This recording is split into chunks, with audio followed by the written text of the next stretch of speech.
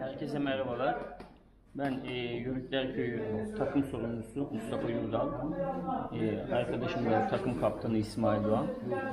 E, bu yıl düzenlenen Dağder, Dağder turnuvası e, bizim açımızdan gayet olumlu ve güzel geçti. E, yeni takımları, yeni arkadaşlar edindik. Her şeyden önce bizim için e, bu maçlar başarıdan ziyade dostluk maçlarıydı. Ee, ilk kez katıldık. Gençlerimiz e, büyük emek verdi.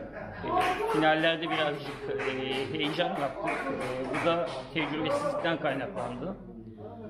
Daha da deneyim kazanacağız, daha da güçleneceğiz. İnşallah e, önümüzdeki yıllarda e, daha güçlü bir yörükler olarak her zaman bu yarışın içinde olacağız ve şampiyonluğu kovalayacağız. Teşekkür ediyorum. Ben İsmail Doğan, e, Yörükler Spor kaptanıyım. E, aynı zamanda e, Mustafa Bey ile de beraber sorumlu e, gibi yanında kendisine yardımcı olmaya çalışıyorum. Bizim e, gençlerle katılma amacımız birlik, beraberlik için katıldık. Evet abi. Gençlere bir önderlik yapmak için, e, onlara bir abi e, abilik yapmak için başlarında duralım dedik.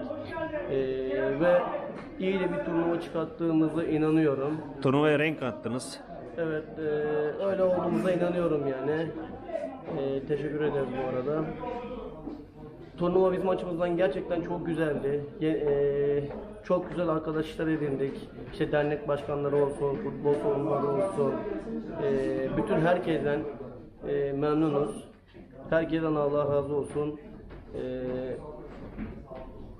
E, her şey için daha da teşekkür ederiz.